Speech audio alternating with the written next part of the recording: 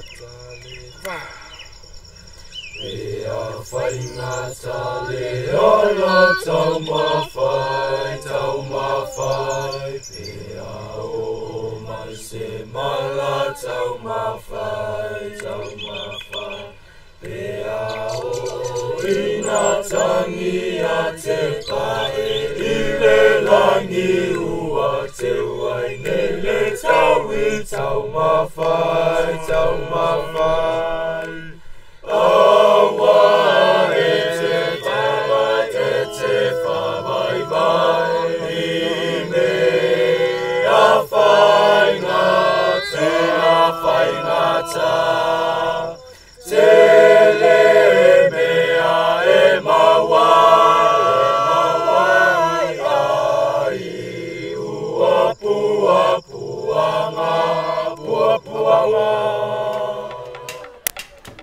heart disease is a consequence of a simple strep infection if left untreated, and it can attack the valves of children's hearts.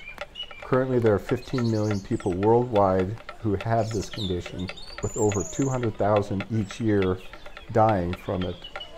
And yet, we're dealing with a completely treatable condition.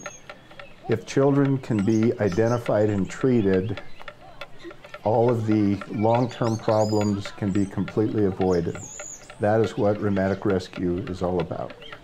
When we talk about Rheumatic Rescue, the name of our program, you know, the question is, is what are we really rescuing kids from? And um, we're rescuing kids from being tired and being fatigued, being short of breath, their hearts failing, and eventually preventing even death for young women who contract rheumatic heart disease, they're not able to have children. If they do, they're at a very, very high risk of dying during childbirth. So, this disease has not only uh, medical, but it also has great uh, psychological, social, financial, many, many ramifications which are devastating to a country like Samoa rheumatic fever is such a, a common disease in our children, and it's it has been quite difficult trying to uh, get these kids to come in early. And Rheumatic Rescue has given us tremendous help in trying to uh, screen these children, school children, so that we can um, identify them early and start treatment early um, to prevent as you know, the complications such as rheumatic heart disease. Rheumatic Rescue is a unique and dynamic program that has been developed to educate populations who are dealing with rheumatic heart disease, to identify children who may have rheumatic heart disease, and then to look for new ways to prevent and or treat rheumatic heart disease. For our screening protocol, we bring each of the children in, we collect their very basic uh, information, we assign them a unique identifier number, and then we do what we call a rapid initial assessment, where we have an echocardiogram and we take a very quick look at the heart and basically make a determination if it's normal or abnormal. If it's normal, we reassure the children and their families, they go back to class.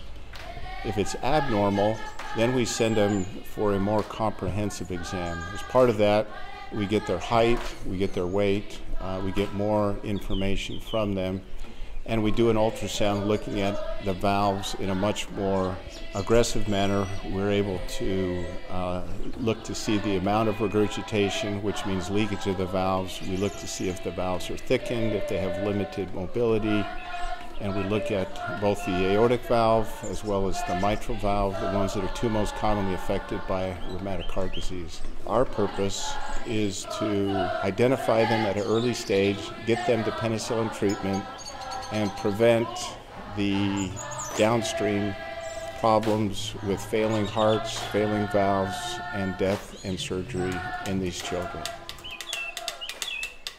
For the educational component, we are able to use university students who are either enrolled in the nursing or community and public health programs.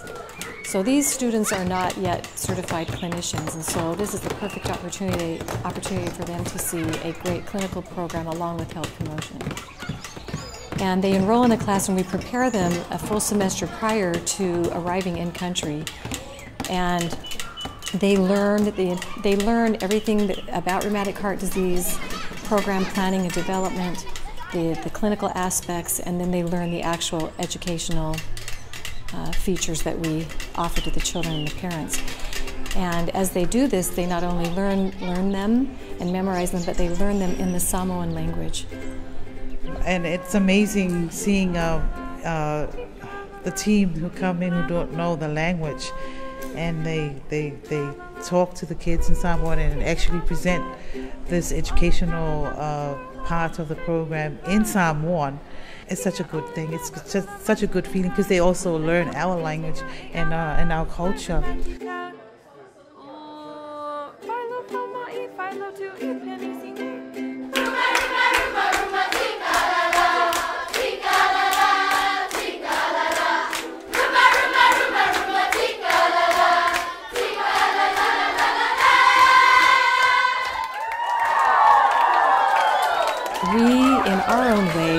Have redefined primary preventive care. We've gone right to the child. So we teach them, the children, in a way that the children can be taught to tell your parents or someone when you have a sore throat. I think one of the strengths of the Rheumatic Rescue Program is it includes, as team members, people in the National Health Services here in Samoa. And it's exciting to see them learn the screening techniques, to see them engage with the parents, to teach them. And not only does it give them the skills, but it helps their own people identify them as their source for assistance. And not necessarily the rheumatic rescue team, but we're there as a support, and they see that as well.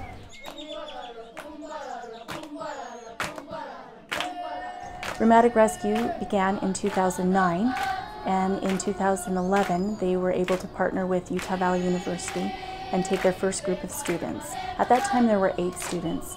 This year in 2015 they took more than 20 students. Although we provide a, a good service to the people that we serve in Samoa, we've now evolved into a major research program Rheumatic Rescue is now expanding our research looking at novel ways to prevent and or treat rheumatic heart disease. So the rate of rheumatic heart disease in Samoa is elevated relative to other developing countries. And this is likely due to the unique genetic architecture of the Samoan people. DNA can be collected from any tissue from an individual.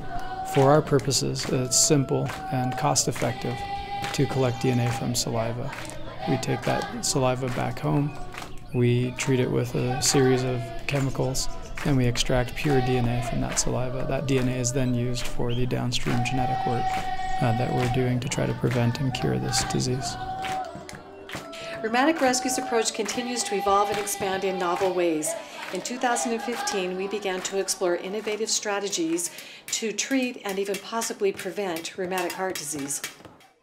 The rationale for our work in Samoa is first on a humanitarian basis. We're interested in being able to treat and possibly prevent some of the issues associated with infectious disease. We were very interested to spend time in Samoa uh, looking at the, the uh, incidence of impetigo.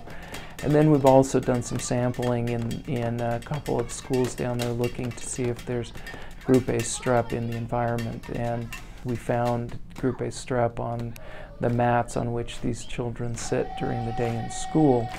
And this may be a venue for transmission from one student to another.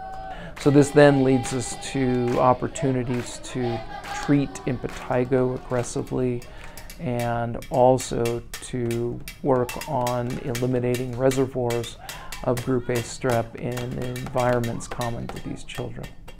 Although this new partnership with Dr. Savage and the associated research will take time, the potential outcomes are extraordinary. So we're working with a disease that affects children that we know can be prevented. This is something that is more than just a typical humanitarian project. We don't know where we could have um, gotten this, you know, help to, to uh, save our children, basically.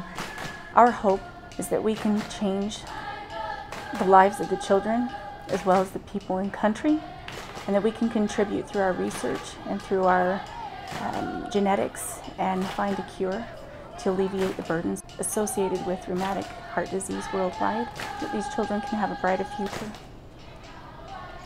I believe this is something that we've been guided to do, and I believe that there's great things that are going to come of this greater than we'll ever know, and I'm just grateful to be part of it. You know Rheumatic Rescue is a successful program because it's hard to differentiate between who is helping whom. And when you can't tell that difference, you know you have a successful program.